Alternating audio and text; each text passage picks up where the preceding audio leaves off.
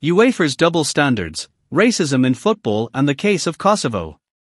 The world of football, often celebrated as a unifying force that transcends borders, has yet again been marred by controversy. In the aftermath of Kosovo's recent match against Romania, UEFA's decision to award Romania three points after the match was abandoned due to racist chants has sparked outrage and raised serious concerns about fairness, justice, and the governing body's commitment to combating racism. The incident, a reflection of persistent prejudices. During the match between Romania and Kosovo, fans from the host nation engaged in hateful, racist chants. Among the slogans were inflammatory messages questioning Kosovo's sovereignty and existence as a nation, which is not only offensive but also deeply political. These actions created a hostile environment for the Albanian players and fans alike. Faced with such blatant racism, the Albanian team made the difficult yet principled decision to abandon the match, prioritizing dignity and human decency over the game itself. However, instead of supporting Kosovo as the victims of this abuse, UEFA chose to reward Romania with a default victory. Hypocrisy and double standards, a tale of two responses. The outcome begs a critical question Would UEFA have made the same decision if a more prominent footballing nation had been the target of such abuse? Consider Germany as an example. If fans in a host country chanted slogans glorifying Nazism or invoked hateful rhetoric like Heil Hitler, there is no doubt that UEFA would have acted swiftly to penalize the offending nation.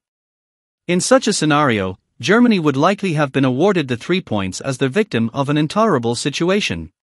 Similarly, nations like France, Spain, or England would undoubtedly receive the benefit of the doubt in similar circumstances. UEFA's track record has shown a tendency to protect larger, more influential nations while dismissing or minimizing incidents involving smaller or less powerful countries. This inconsistency lays bare the hypocrisy that undermines UEFA's claims of promoting equality and fairness. The victim becomes the villain.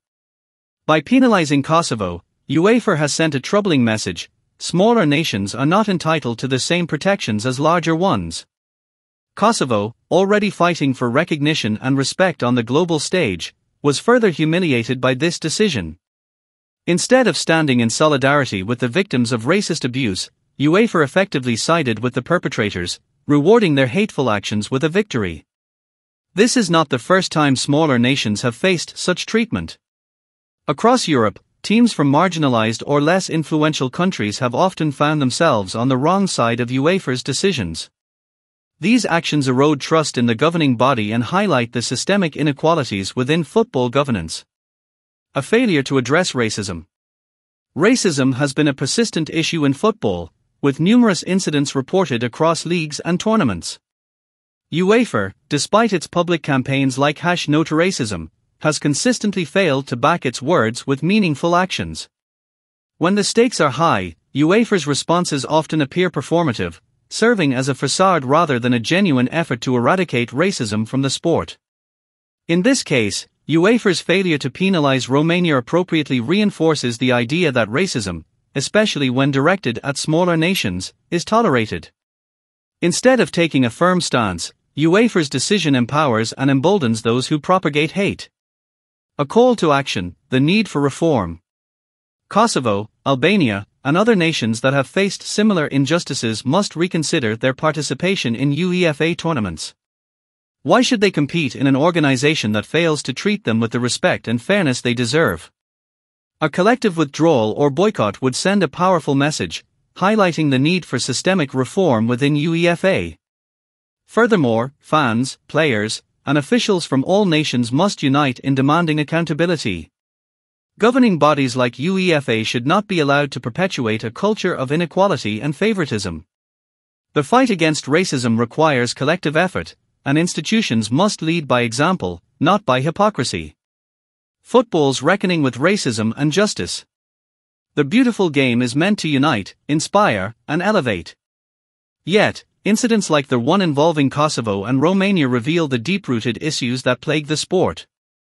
UEFA's handling of this situation is a stark reminder that racism remains a significant challenge, and justice is often reserved for the privileged.